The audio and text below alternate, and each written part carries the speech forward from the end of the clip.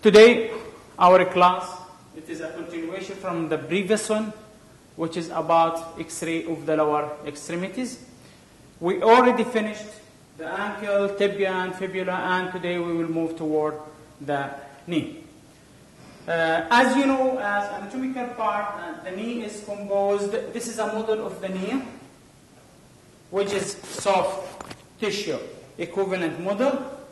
Uh, it is made of synthetic bone and soft tissue.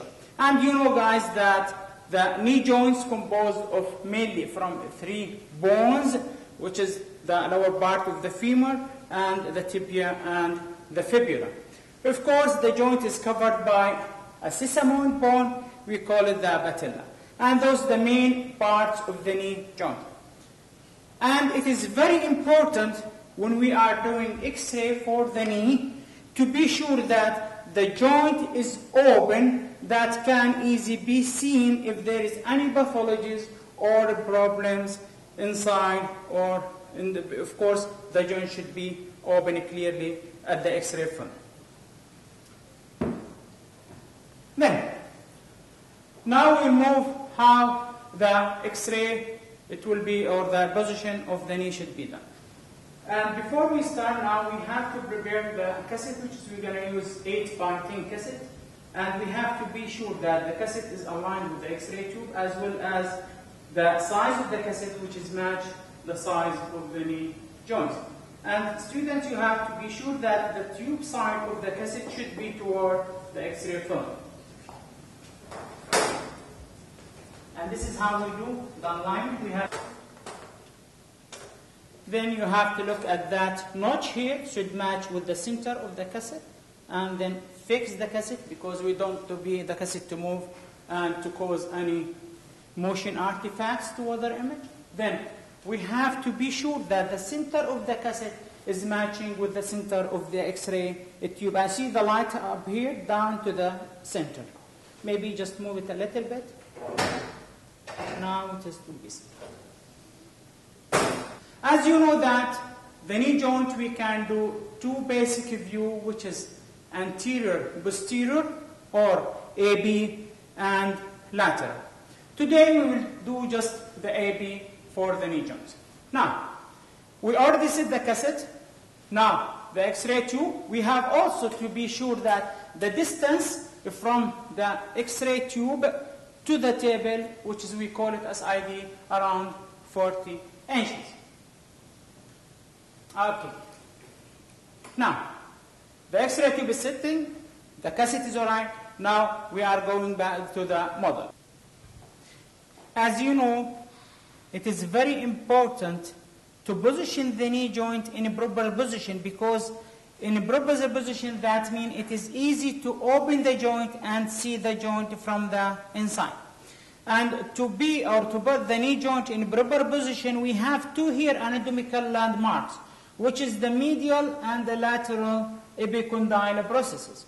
And those epicondyles, it should be equal distance from the X-ray table. And the distance from this, uh, the middle one to the table should be at the equal distance from the other one. By this measurements, actually, we have to be sure now that the knee joint, it's not rotated. And it not rotated means that good image equality will be produced by just notice those two epicondyle distance should be equal from the X-ray table. Now we are sure that the knee is extended. Then the position or the, uh, the limb is fully positioned without any movement. Then we have to do the centering point. The centering point is very important to center just about 1.3 centimeters below the apex of the knee. Collimation also should be used, you know that collimation is very important to get very proper and good image without any artifacts or any foggy on the films, as well as not to expose the patient and other parts for unnecessary radiation. Uh, sometimes it's very difficult to decide uh, how much the angle should be used when we are doing uh, knee joint X-ray actually. It's very important or tips just sometimes to determine the angulation that used for X-ray of the knee of the uh, knee joints, we have to measure the thickness of the pelvis, where to measure the area, or sorry, to measure from the anterior superior iliac process to the this to the top of the table, and if this distance below than 19 centimeters, that means we can use the angulation between 3 and 5 degrees toward the feet. While if it is 19, that means we can we don't need to use any angulation. We keep the X-ray tube perpendicular with the knee joints. But if this distance more than 19, between 19 and 24, that means the thickness of the pelvis is that high, we use the angulation 5 to 3 to 5 degrees, which is, should be toward the head or cephalon. And this is the knobs that we are using. This one maybe it should be used just to move it all the way around. This is up and down, and this is for angulation. And for the knee joint, we use this knob actually because we need to angulate the tube for the, uh, when we are doing knee uh, x-ray. Now the angulation, as I said, it's between 3 to 5 uh, degrees. Now just press the knob and just move the x-ray tube slowly and gently to be sure that this is the angle which is around 5 degree to be angulated. And we have to be sure that, sorry, we have to be sure that the centering point is exactly still the same 1.3 centimeters below the bottom.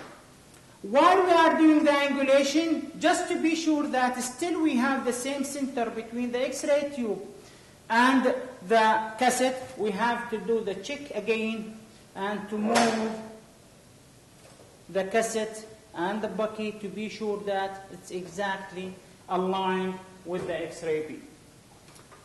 And after that, now we have to be sure again that the position is all right and the X-ray is aligned with the IR or the image receptor, then we will go back and do our exposure. Of course, a proper technique should be used to use a proper kilo electron volts and the proper mAs.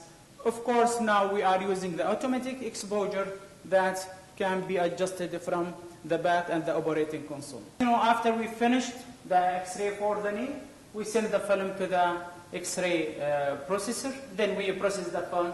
Now we got the hard copy for the knee joints. It's very important for you guys to decide or to evaluate your film, to evaluate your work.